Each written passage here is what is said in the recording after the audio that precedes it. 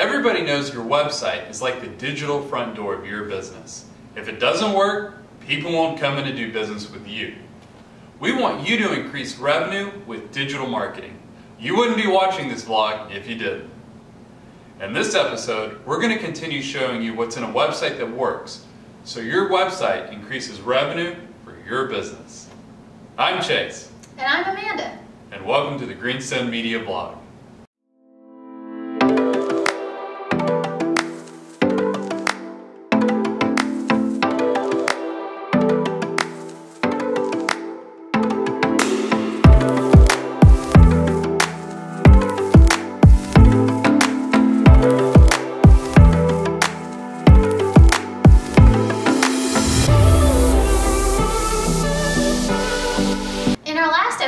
We covered what's in the header of a website that works. Most people are going to spend four to five seconds on your website before they decide, should I stay or should I go? I think that might be a Stranger Things reference.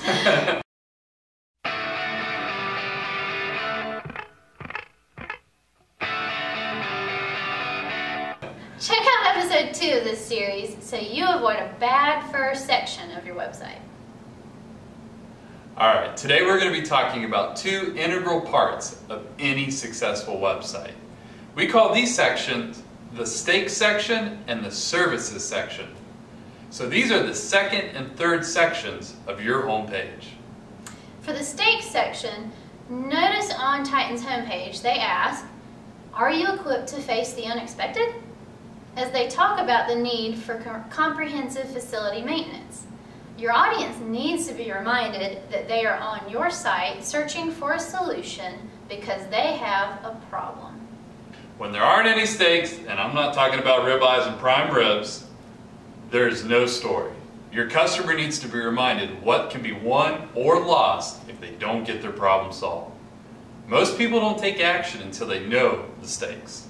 If you currently have a website, chances are you probably have a services section. Here's the tweak we recommend making.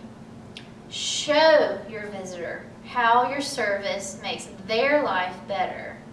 A lot of times companies list their services and you're not sure exactly which ones you might need.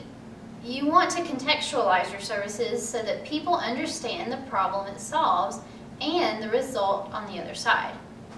Here's how Titan Maintenance makes their services clear to their customers. Okay, so there are two crucial parts of a website that works. One, what can be won or lost if your customer does business with you? Two, how do your services help your customers transform? If your website is answering these questions early, you're going to see a lot more traffic and website visitors become customers. They're going to start scrolling further down your homepage and when that happens, your website works for you. Well, that's all we've got for this episode. Tune into the vlog so you can keep tweaking your website. Remember, websites that work make lots of money. Keep turning in so your website does the same.